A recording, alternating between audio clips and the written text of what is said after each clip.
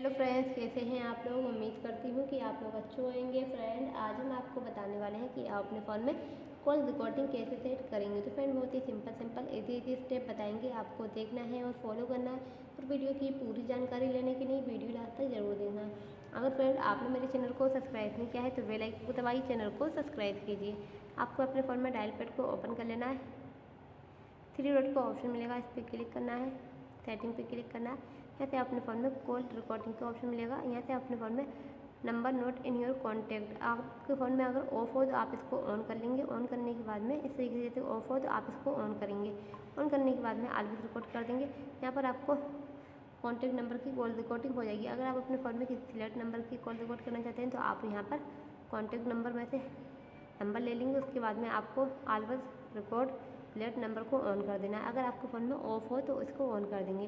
Friend, इस तरीके से आप अपने फ़ोन में कॉल रिकॉर्डिंग सेट करेंगे। आई होप अगर आपको हमारी वीडियो अच्छी लगी हो गाइस तो वीडियो को शेयर करें लाइक करें चैनल पर नए हो तो चैनल को सब्सक्राइब करें। मिलते हैं अगली नेक्स्ट वीडियो में जब तक के लिए बाबा एंड टेक केयर